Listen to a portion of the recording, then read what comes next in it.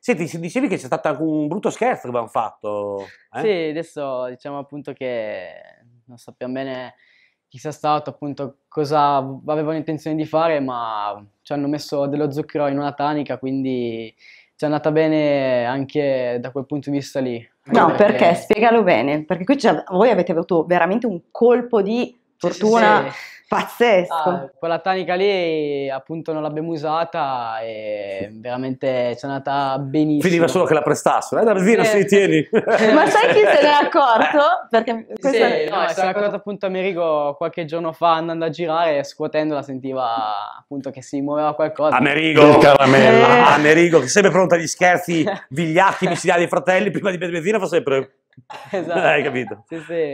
Pensavo fosse ruggine, invece...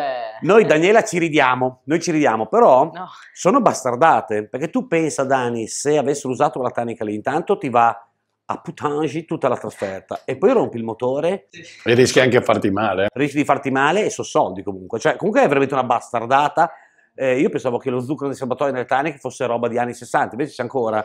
Bisogna, quindi diamo un consiglio a tutti quelli che vanno a fare le gare, dateci un occhio perché ci sono ancora in giro eh. questi figli di buona donna, sarà stato un islamico sicuro. Però che brutta cosa, dai, ma perché fare uno scherzo del genere? No, non è uno scherzo, è che probabilmente, sai, vogliono azzoppare un equipaggio e... Quelli forti proprio. Quelli fo- caso strano, a me per dire non la metterebbero, no? Anzi, anzi, a voi lo zucchero, voi metterlo. E...